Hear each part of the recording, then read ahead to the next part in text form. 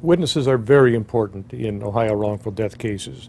Witnesses are important to establish fault or liability on the part of the defendant, to establish that the decedent himself wasn't responsible for his or her own death. Witnesses are also important on the issue of damages, and that involves the type of person that the decedent was. And witnesses are, witnesses are important to tell about the relationship between the decedent and the family members that are bringing the claim. Witnesses are also important to demonstrate what the family members have gone through as a result of the death of their loved one. So yes, witnesses are important.